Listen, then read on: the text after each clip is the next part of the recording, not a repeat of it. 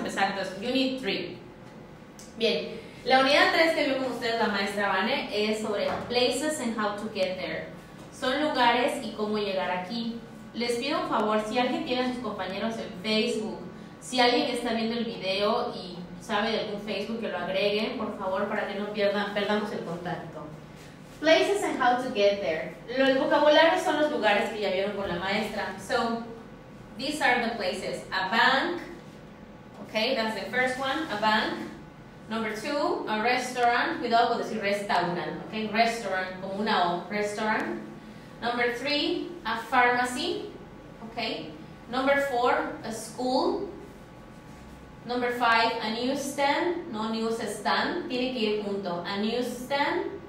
Number six, a bookstore. Repito, number one, a bank. Number two, a restaurant. Number three, a pharmacy. Number five, a newsstand. Number four, a school. Number five, a newsstand, puesto de revistas. Number six, a bookstore. ¿Ok? Y les dan más todavía. ¿Ok? A bookstore, una librería. Bueno, bookstore no tal vez, sí, una tienda de libros, no una librería. No voy a, a confundirlo con biblioteca. Alright, so here we have some others. A clothes store, an electronics store, tienen ustedes la imagen, tienda de electrónicos. A fire station, okay, una estación de bomberos. A police station, estación de policías, number four. Number five, a shoe store. Si se dan cuenta, todos llevan la palabra store, que significa tienda, tienda de zapatos. Okay? Number six, a toy store, una tienda de juguetes. Number seven, a dry cleaners, debe llevar la S. No le pongan apóstrofe, por favor, solamente así. Dry cleaners, la tintorería. Okay? Number eight, a gas station, lo que nosotros llamamos gasolinera. A gas station, okay? That's number eight. Number nine, a hotel. No digan hotel, es de las pocas palabras en inglés que tiene el acento en la segunda. A hotel. Number ten, a supermarket. Number 11, a convenience store. A supermarket, es que los alumnos tienen mucho a decir supermarket. No tengo el micrófono puesto. Ok.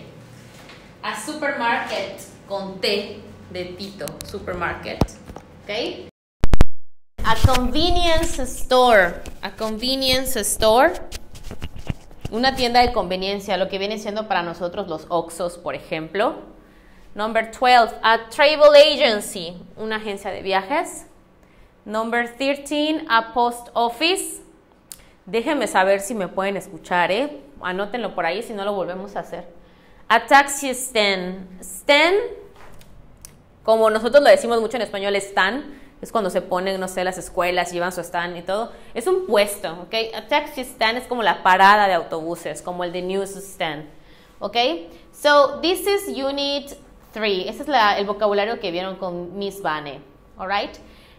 Es trabajo de ustedes, chicos, memorizarlo. Ahora, otra cosa que checaron con ella son locations. De hecho, ella hasta trajo, eh, muy padre, la verdad, la maestra imprimió y todo una lona para que ustedes este, indicaran el camino. So, across the street es cruzando la calle. Así se traduce literalmente. Across the street. Down the street lo decimos, lo decimos mucho bajando la calle. O a veces decimos todo derecho, ¿no? Pero down the street, bajando la calle. Down the street. Around the corner, a la vuelta de la esquina. Around the corner. Tenemos on the left, a la izquierda. On the right, a la derecha. Next to. Next to lleva la doble T. Los alumnos tienden mucho a hacer esto, miren. Next to. No le ponen esta T. Next to. Al lado de. O junto a podría traducirse. ¿Ok? Number seven. Between. Between. En medio de. Aquí les dice between the bookstore and the bank. En medio de la librería y del banco. Entonces, ese también es vocabulario que vieron con ella. Yes? And also. This one, ya lo vieron, no estoy repasando, ¿eh? Questions with where, para usar dónde, subject pronoun it. ¿Por qué usan where? Porque como estamos viendo indicaciones de dónde está, bajando la calle, a la izquierda, a la derecha, en la esquina, a la vuelta de la esquina, al lado de o en medio de. Vamos a concentrarnos en usar esos ocho o esos siete ahorita. Where es dónde. Ustedes ya saben que is es está o es, por ejemplo, where is the bank? Sabemos que where is dónde. En la unidad 1 vimos is, que es eso está. The bank es vocabulario. Where's the pharmacy?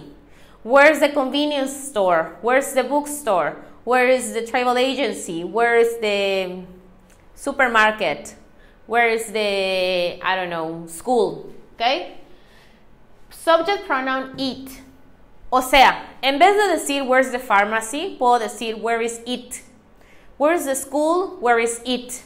Where's the convenience store? Where's it? ¿Por qué? Porque estoy hablando de cosas, estoy hablando de lugares. Acuérdense que cosas, lugares, animales, situaciones, it.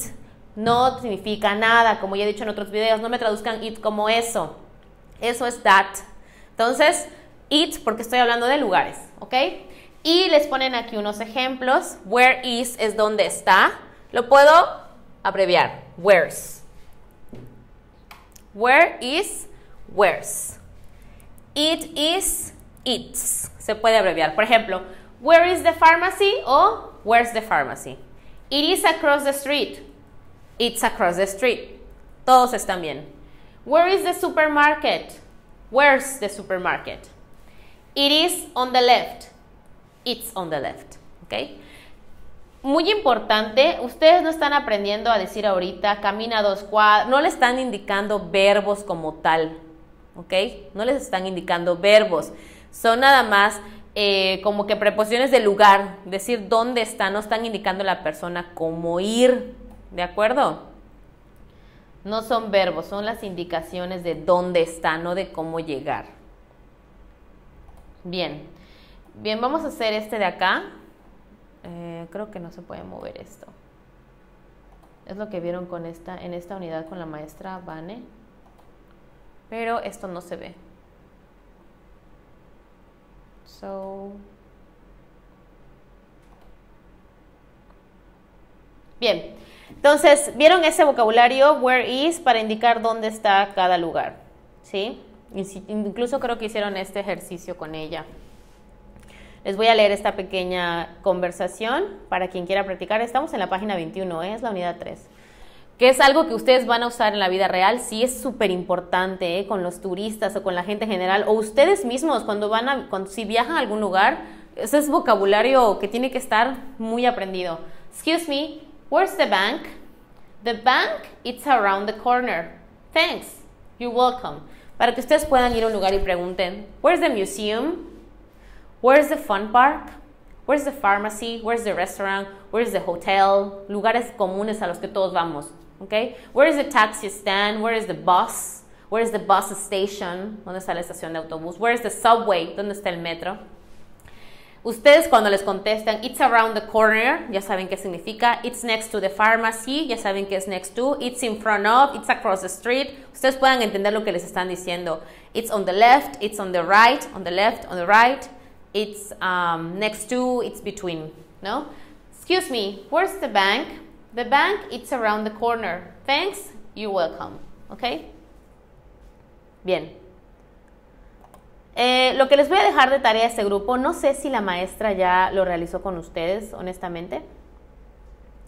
También me parece, díganme ustedes si no, les indicó eh, verbos, ¿ok? Les indicó los verbos que están acá. Por ejemplo, ways to get places, la manera de llegar, walk, no digan walk.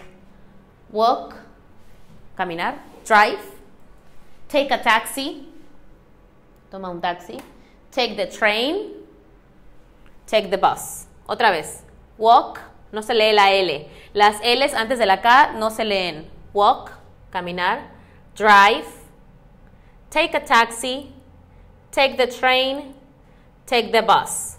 Take the subway. Metro no está acá, pero bueno. Lo que les está enseñando aquí la Miss, la maestra Vane, es de imperative. Imperativo es dar órdenes. No lleva sujeto. Dense cuenta. Drive. Maneja.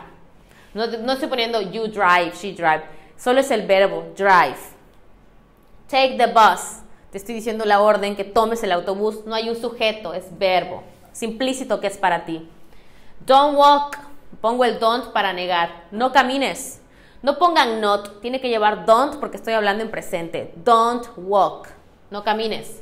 Don't take the train. No tomes el tren. Si yo te dijera, don't take the bus. No tomes el autobús. Don't take a taxi. Si estamos en Ciudad de México, ¿no? No tomes un taxi. Take the subway. Toma el metro, ¿no? Para dar órdenes es el verbo o si quieres negar es don't. No hay un sujeto. No puedo decir you drive. Si digo you drive o si digo you, you take the bus en vez de solo take the bus, estoy afirmando que es algo que estás haciendo. Por ejemplo, tú manejas. Ah, ok, él maneja, ok, él sabe manejar. No, para la orden no lleva sujeto. Es drive, take the bus, don't walk, don't take the train. Me parece que eso ya lo vieron con la Miss también. Y les hizo este ejercicio donde hay unas imágenes, ¿ok? Walk to the bookstore, don't drive to the restaurant, take the bus to the bank, don't walk to the pharmacy, drive down the street, maneja bajando la calle, tome el autobús, take the bus down the street, don't take the bus down to the bank, walk to the bank, take a taxi to the restaurant, drive to the pharmacy. Y tenían que unirlos con los de aquí al lado. Si no lo han visto, háganmelo saber, pero tengo entendido que sí. Ok. Bien. Seguimos. ¿Cuánto tiempo llevo? Ya son 12 minutos. Ok, ya vamos a acabar. Y les enseñó los medios de transporte a ustedes, chicos. Si no, no importa, lo vamos a poner. Medios de transporte. Se dice, medios de transporte, se dice así, miren. Means of transportation. Means of transportation, ¿ok? Means of transportation. Tienen a car, a subway, que es el metro, a bicycle, también puede ser bike, a motorcycle, a mopped. Es diferente, ¿eh? Mopped es como una motoneta, a mopped. A motorcycle es la motocicleta, digamos la más común, y a mopped, a bus, a train, a taxi. A bus, a train, a taxi. Este es vocabulario que ustedes deben memorizar, ¿ok? Lo importante acá, que es algo también de esta unidad, cuando decir que yo uso algo, un medio de transporte, if I, if I use a mean of transportation to say, voy a la escuela en taxi, no puedo decir I go to school in taxi. I go to school by taxi. By, to express means, ¿ok? Cuando sea un medio de transporte, la preposición en debe ir sustituida con by. Por ejemplo, by taxi. I go to the hotel by taxi.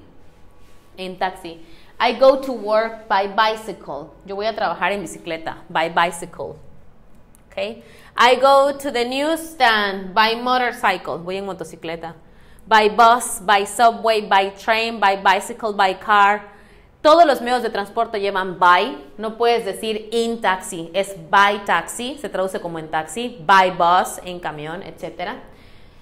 Y eh, entonces usen bye con B-Y, no vayan a poner bye que significa adiós.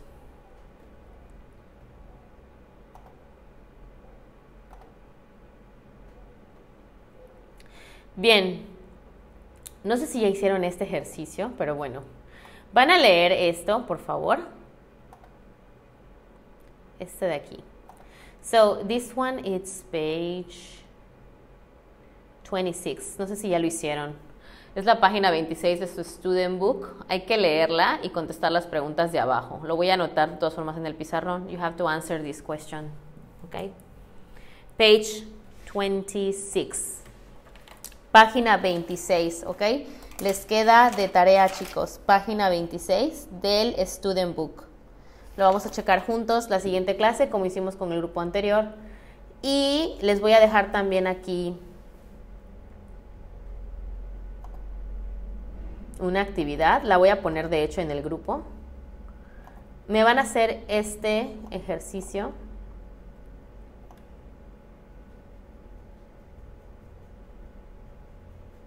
Este de acá. Lo voy a poner en el ahorita que ponga el video. Este me lo van a hacer ustedes. Lean la instrucción, por favor. ¿Son tres páginas? No, son dos. Ay, ¿por qué no puedo subir y bajar esto? Dios mío. Okay, one, this page, this is the first page, and this is the second page. Van a ser estas dos páginas. Se los voy a dejar, bueno, vamos a hacer las tres, tenemos tiempo. vamos a hacer estas tres páginas, las voy a dejar en el grupo, ¿sí? No creo que lo chequemos mañana ni pasado mañana. Eh, mañana es jueves, viernes, probablemente el sábado también. Sábado, domingo lo estaríamos checando.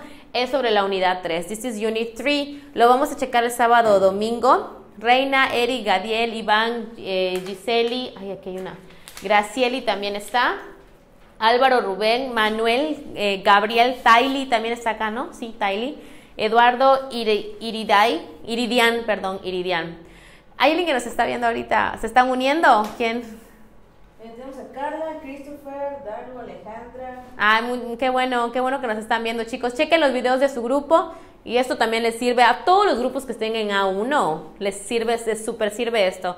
Los grupos del maestro Gibran, todos los de la maestra Ale, casi todos los de la maestra Vane, de la maestra Noel, también les sirve este tema para reforzar. Entonces voy a dejar estas tres hojas. Las vamos a checar el sábado, domingo y este, traten de hacerla si tienen un tiempito por ahí, por favor. Etiqueten o agréguenme en Facebook quien no esté. Thank you very much for watching us. Okay, bye.